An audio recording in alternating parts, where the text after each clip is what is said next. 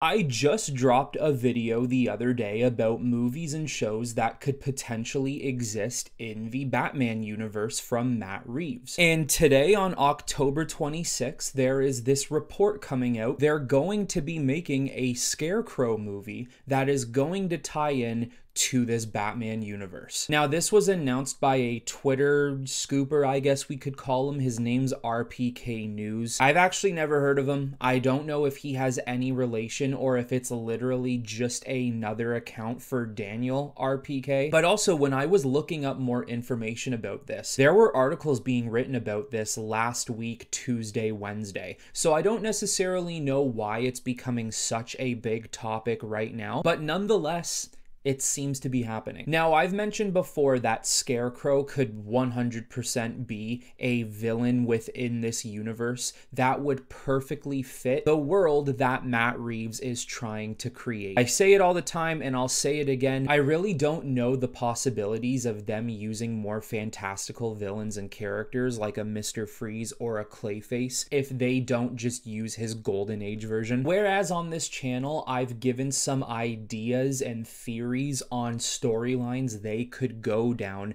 in this world. I've never had Scarecrow being a main villain or a villain at all in the future of this universe, but he clearly can be, and it looks like he will be in some sorts. Some of the villains or the characters we were hoping for to see in maybe the Batman 2 or the future Batman projects, we can still see them. It's not over. If anything, a Scarecrow movie should simply be looked at as an addition to this universe that Matt Reeves is molding. So, first, I think there's going to be a lot of people who are interested in something like this, such as myself. I think this could be a very fascinating film because not only is it Scarecrow, one of Batman's greatest villains ever, but it is a character that you can do a deep dive in like the Joker movie. But I also assume there's going to be a lot of people who think to themselves, why do we need this? Why do we need movies for Batman villains? Who cares? And this is what it all comes down to Batman has been a proven successor. Comic books, games,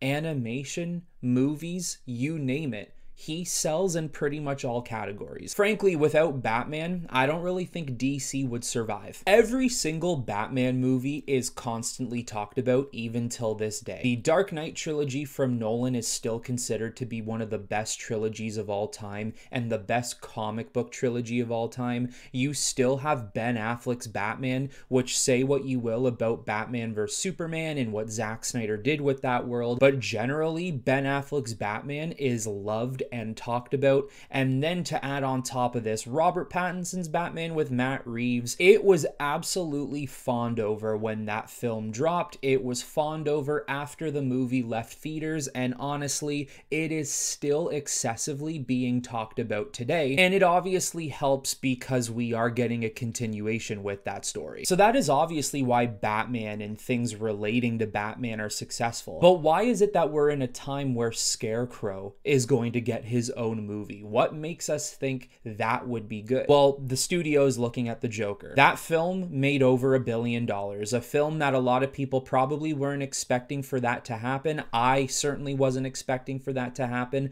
but it vastly exceeded expectations. Now, I'm not saying Scarecrow is that type of character. I'm not saying people are interested in Scarecrow the same way they are the Joker, but Scarecrow could have that potential, and not just that, he could be molded in a movie the same way they did it with Joaquin Phoenix Joker film. And to add on top of that, you're not just getting a regular Scarecrow film. This isn't just an Elseworlds movie where it's a Scarecrow movie with no other connection. This is a situation where people are getting a product from a universe in the Batman world in which people trust Matt Reeves after the first movie he gave us. He's grown enough trust and appreciation that if he comes out with other projects, majority of people will watch it. Now, what could you do with Scarecrow? What could this film really be about? I think what they're going to do is they might go back into Scarecrow's deep story, his origin, something we've never really seen from Scarecrow on film ever, or even in video games because he's a heavy piece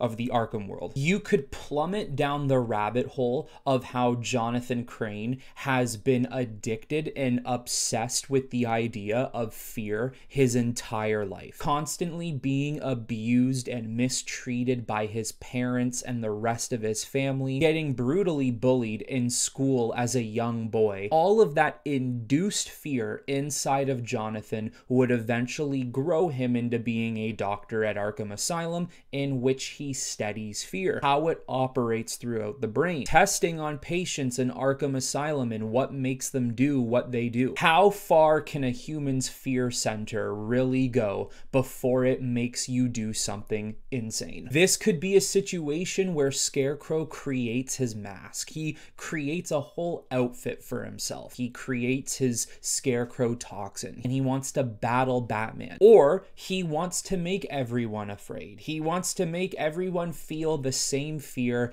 he's had to grow up with his entire life, even now as an adult. This is another film just like The Joker where you could up the ante here. This could be a PG 14, maybe even an R rated. I'm not saying you have to go the horror route because I don't think horror is necessary in any way, but definitely more thrilling. I think you could get away with some creepy or somewhat scary parts that really make you see what Jonathan Crane has to go through in his mind every single day. Scarecrow is a character that can help us actually identify what Batman looks like to some of his rogues gallery. Because, of course, Batman is just a regular man inside of a suit with a bat symbol and a bat like cape with pointy ears. There are silhouettes of Batman, there are places Batman can place himself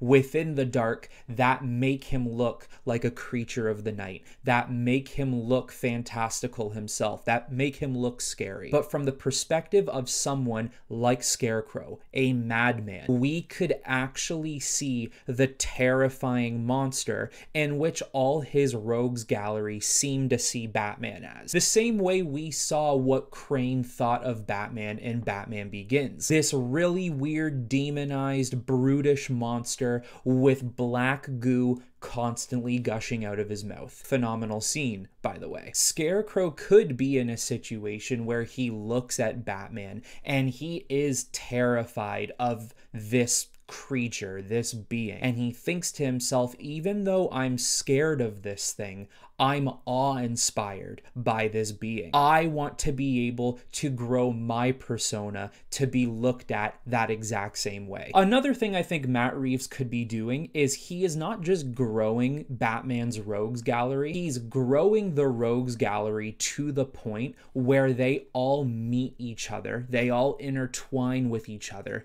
and maybe one day we have some massive event where Batman has to go up against his greatest foes all at once. All of these villains are congregating in Arkham Asylum, anyways. Would it be so crazy for all of the people that Batman has beaten? And not even just the fact that Batman has beaten them and foiled their master plans, he has literally beat them. Beat them to a bloody pulp, broken bones, arms, ribs, legs, face, jaw, everything. Eventually, enough of these beatings and characters like a Scarecrow or others who maybe have a more so fragile ego or just cannot take the constant pain that Batman continues to deliver. You are going to drive these villains hard enough into the hands of someone like the Joker. The Joker being a character who can execute crazy master plans involving everybody and hiding things underneath Batman's nose or literally in front of his face without him even realizing it. With the introduction of Riddler, already having a Joker in this world, the Penguin show, possibly seeing Hush and Clayface in the future, you could do a story like No Man's Land. You could cut off Gotham City, in which Batman is now stuck in this city with some of his greatest villains running free and throwing Gotham Gotham into a complete madhouse. And this also doesn't need to be something like the Joker's plan. I was just using an example to get all of these villains together. Scarecrow smart himself. Look what he did in Arkham Knight. Of course, he didn't do that alone, but it was his master plan. You could even have storylines where maybe all villains do want the Batman dead. They want to get rid of him. But some villains disagree on the particular routes they should take. So now maybe it becomes a war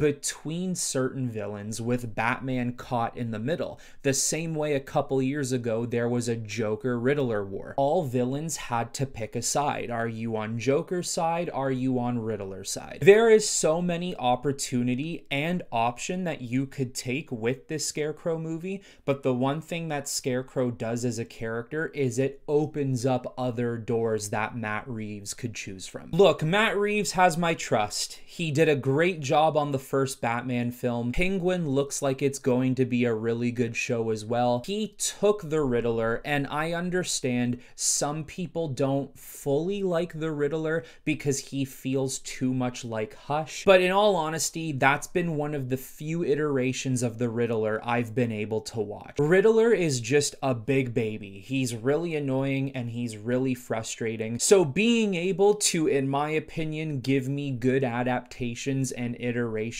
of these characters, I'm certainly not going to say no to a Scarecrow movie. But anyways, everyone, that is all I have for you on this one. So let me know in the comments down below, are you interested in a Scarecrow film in the Batman universe? And what would you like this film to look like and be about? Until next time, everyone, I will talk to you all very soon.